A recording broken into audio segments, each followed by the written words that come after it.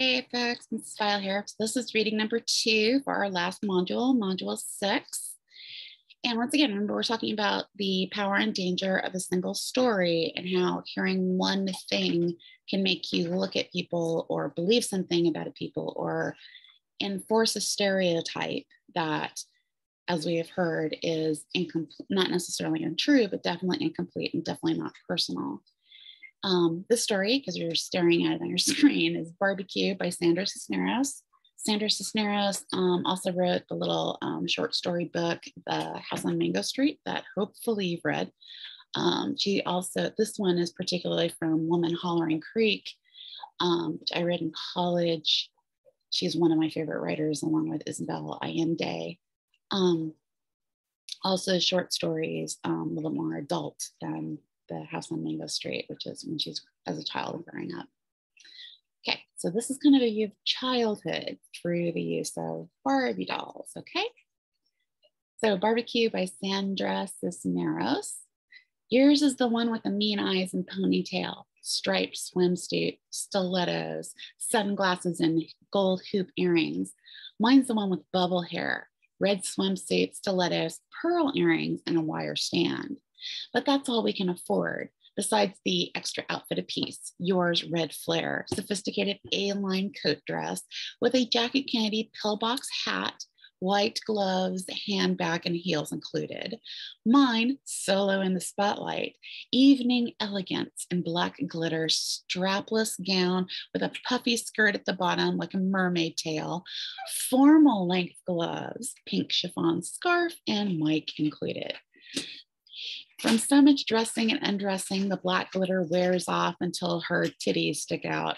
This is a dress invented from an old sock when we cut holes here and here and here. The rough, the cuff folded over for a glamorous, fancy free, off the shoulder look.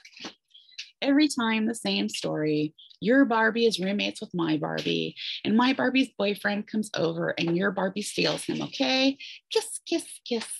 Then two Barbies fight. You dumbbell, he's mine. Oh, no, he's not. You stinky. Only Ken's invisible, right? Because we don't have the money for a stupid looking boy doll. And then we'd rather both have new Barbie outfits next Christmas. We have to make do with your mean eyed Barbie and my bubblehead Barbie and our one outfit apiece, not including the sock dress. Until next Sunday, when we're walking through the flea market on Maxwell Street, and there, lying in the street next to some tool bits and platform shoes and heels all squashed in fluorescent green wicker wastebasket and aluminum foil and hubcaps and a pink shag rug and windshield wiper blades and dusty mason jars and a coffee can full of rusty nails. There, where two Mattel boxes, one with the career gal ensemble, snappy black and white business suit, three quarter length sleeve jacket with a kick pleated skirt, red sleeveless shell, gloves, pumps, and matching hat included. The other sweet dreams, dreamy pink and white plaid nightgown with matching robe, lace trimmed slippers, hairbrush, and hand mirror included. How much? Please, please, please, please, please, please, please, until they say okay. On the outside, you and me skipping and humming, but inside we're doing loopity loops and pirouetting, but spinning until you to the next vendor stand next to the boxed pies and bright orange toilet brushes and rubber gloves and wrench sets and bouquets of feather flowers and glass towel racks and steel wool and Alvin and the Chipmunks records. There and there and there and there and there. Bendable leg Barbie with her new page boy hairdo. Midge, Barbie's best friend. Ken, Barbie's boyfriend, Skippy, Skipper, Barbie's little sister, Tootie and Todd, Barbie and Skipper's tiny twin sister and brother, Skipper's friends, Scooter and Ricky, Ellen, Ken's buddy, and Francie, Barbie's modern cousin. Everybody today is selling toys, all of them damaged with water and smelling of smoke because a big toy warehouse on Halsted Street burned down yesterday. See there? The smoke still rising and drifting across the Dan Ryan Expressway. Now there's a huge fire sale on Maxwell Street today only. So what if we didn't get our new bendable leg Barbie and Midge and Ken and Skipper and Tootie and Todd and Scooter and Ricky and Ellen and Francie in nice clean boxes and had to buy them on Maxwell Street, all water soaked and city? So what if our Barbies smell like smoke when you hold them up to your nose, even after you wash and wash and wash them?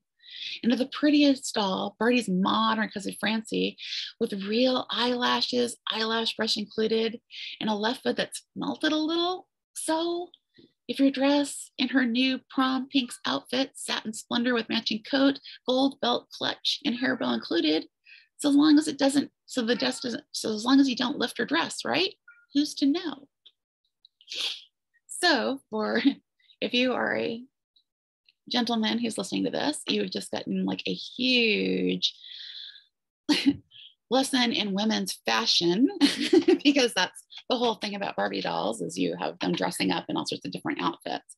And obviously these kids don't have it and they've made their new, you know, they've made one dress out of a sock, which would be nice and form fitting and off the shoulder look. And they get their new Barbies at a fire sale, quite literally, because the toy warehouse had been on fire.